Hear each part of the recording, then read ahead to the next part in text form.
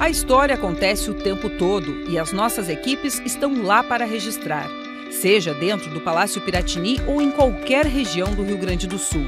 Realizamos a conexão entre o Estado e a sociedade gaúcha, tanto por meio da linguagem jornalística nas suas mais diversas plataformas, quanto pela publicitária, de forma precisa, ágil e atual. E para isso, buscamos diariamente melhorar a compreensão sobre as atividades do setor público, ampliando as possibilidades de interação.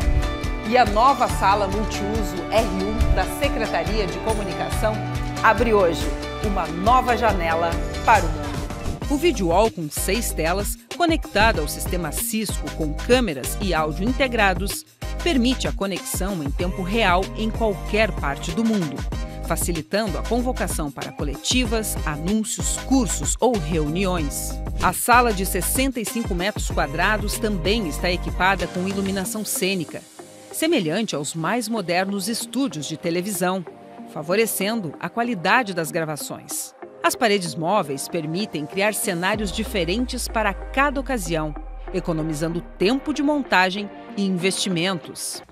O estúdio também pode ser explorado com múltiplos cenários para gravações e entrevistas que exijam o auxílio da tecnologia. Com o apoio do teleprompter, os comunicados podem ser feitos de forma mais organizada, clara e sem perder nenhuma informação, principalmente sobre temas complexos. E as opções de cenário vão além, porque a sala R1 também dispõe de um chroma key, uma parede que permite a inserção de cenários virtuais dispensando a produção de banners ou backdrops. Aqui é possível inserir imagens para qualquer tema. Por exemplo, vamos falar de vacinação? Ou ainda, fazer um alerta climático? Mas que tal facilitar a leitura sobre os indicadores criminais?